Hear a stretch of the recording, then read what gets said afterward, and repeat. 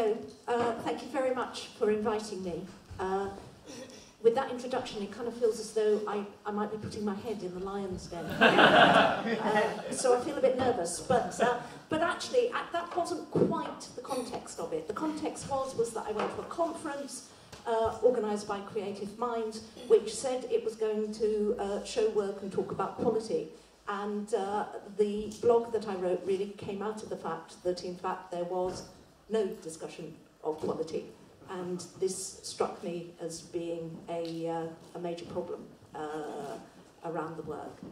Um, I have prepared something, but I would just uh, say that though it's on my laptop, it looks quite official.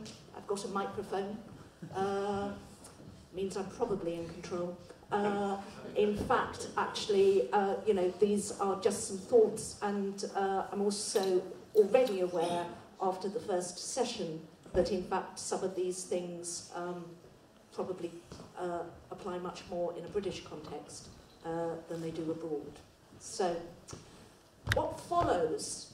Uh, it comes from the start of a review written by Charles Spencer about a production called On Blindness at Soho Theatre in 2004. This is how it begins. As I arrived home in a filthy mood after witnessing On Blindness, my wife kindly asked what sort of evening I'd had. Ghastly, I replied, one of the worst shows I've ever seen. What was it about then, she inquired. Love, sex, and people with various kinds of disability. There's a deaf actor, a blind actress, and a chap with very little in the way of arms in the cast.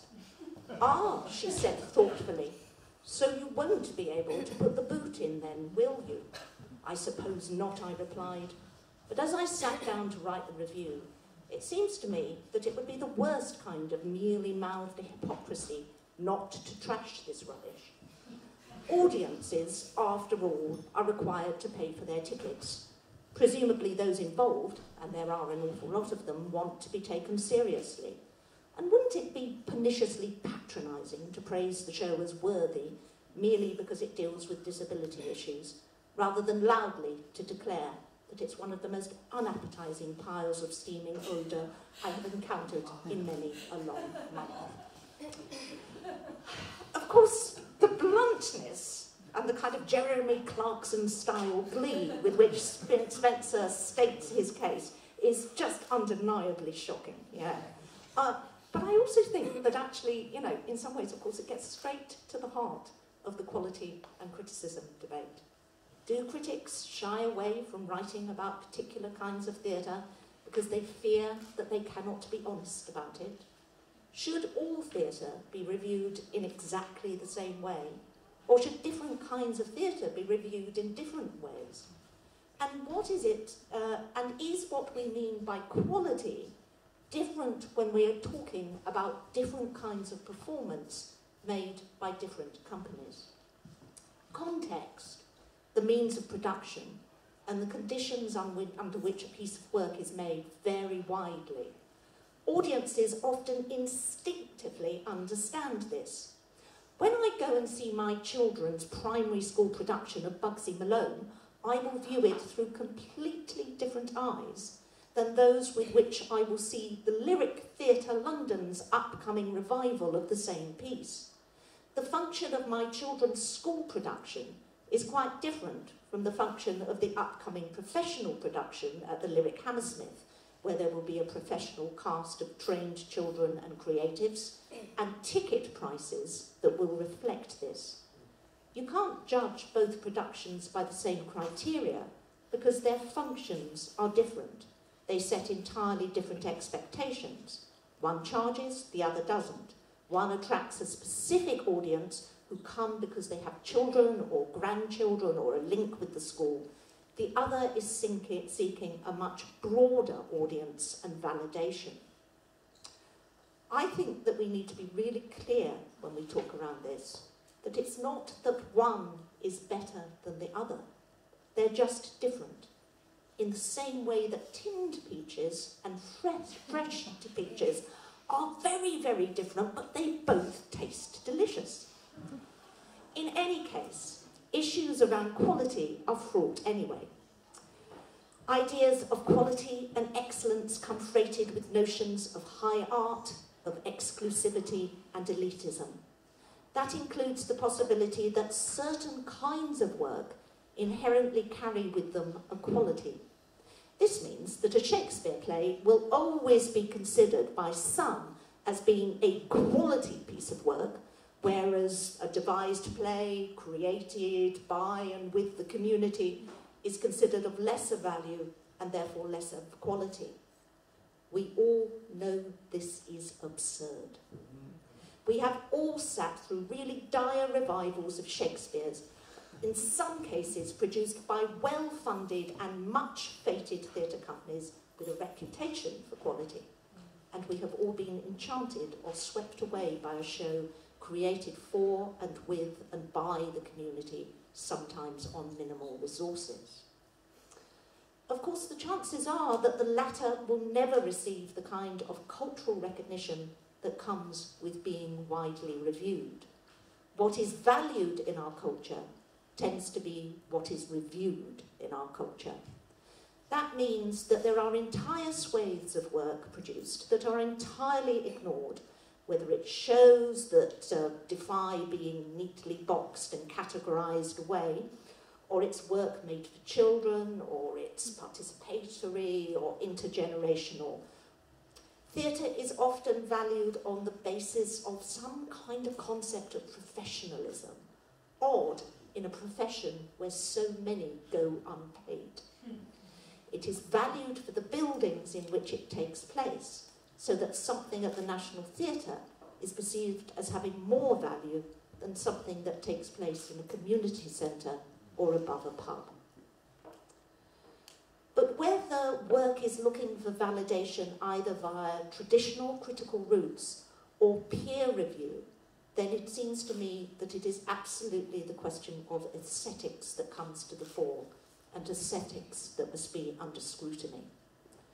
Um, I think the issue of peer review is a particularly important one. Um, I think it can have a really significant effect on quality of work if it's taken seriously. Uh, some years ago, there was a lot of talk uh, around the area of children's theatre, which perhaps with a few notable exceptions in this country of really glorious companies like Oily Cart, Theatre Rights, the levels of quality were really quite low. Um, why? Because it had become a little cul-de-sac of theatre where you could get a bit of funding to do a bit of work, where you could kind of um, earn a bit of a living. Uh, it simply wasn't taken very seriously. And a lot of people who were making the work only saw other work made by other children's companies. They were out of touch with what was happening with the rest of British and European theatre. And there was such low morale and insecurity that there was very little honest peer review taking place. Everyone pretended that everything was lovely when it wasn't. Through time, and with, I think, uh, you know, some attempts to introduce more rigorous peer review, quality has improved immeasurably. Uh, we now have some absolutely outstanding children's theatre in all parts of the UK. But I think probably the biggest boost to creating better work was that the children's theatre world stopped just seeing each other's work and started to accept that their, their peers were not those doing work just like them or working in a similar field, but those working across theatre. Their peer, peers were not just other touring children's companies. They were Pina Bausch, Robert Lepage, Lepage, Katie Mitchell, Complicité, and Deborah Warner.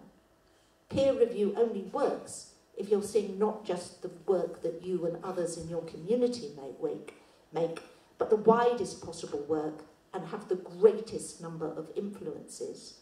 Today, our children's theatre takes its influences from the most inspirational artists from across the world, and it shows.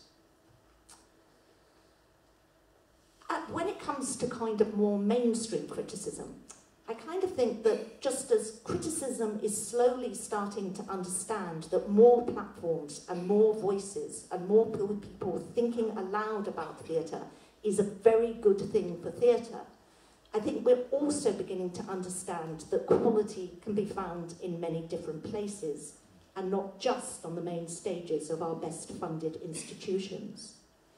There has come a long overdue acknowledgement that theatre must change how it operates, how it shares resources, redefine who it works with and where and how, and rethink what it can do with space and place and how it collaborates. Collaborators are not just other theatre makers, they are audiences, communities, councils, amateur and local groups.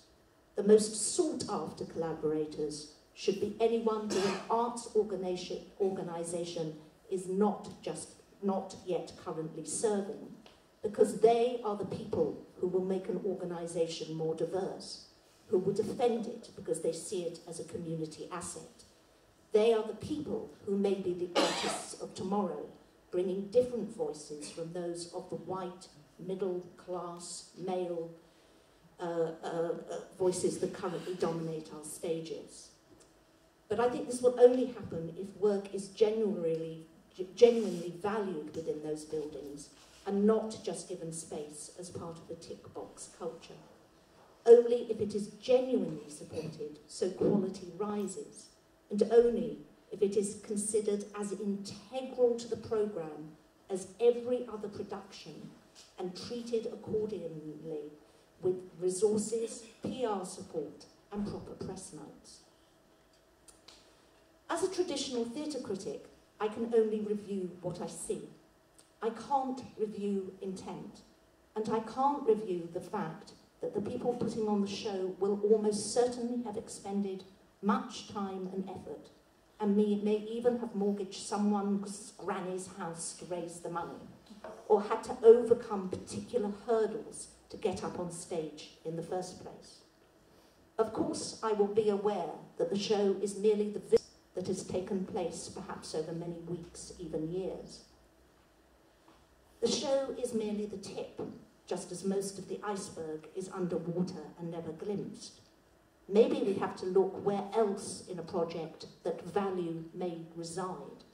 The value of the project and its quality will lie not just necessarily in the final show, but in other questions. What was the experience of making the work like for the people involved? What impact has it has on the, had on those people in the longer term? Has the project helped to create new possibilities and changed participants in any way? In fact, one can also ask, does it change the audience in any way? It, this raises issues of whether different kinds of theatre should be reviewed in different ways. And is what we mean by quality different, as, we, as I talked about right at the beginning? I wonder whether, in fact, rather than chasing mainstream criticism, that there are other ways to go. Um, what about embedded criticism, which is very big in uh, criticism at the moment? What about bloggers? What about academics? I think there are many other ways to validate work other than a review in The Guardian or indeed the Daily Telegraph. truth is that if disabled learning theatre wants its work reviewed in the broadsheets, then it absolutely has to accept that it will not be reviewed on the basis of the individual achievements of those involved or its social value, but on the aesthetics, and whether the show can sit proudly and cheek by jowl with any other work being reviewed at the same theatre or venue or on the same day. To do anything else fails both readers and those making the work. Thank you. Fantastic. Thank you very much.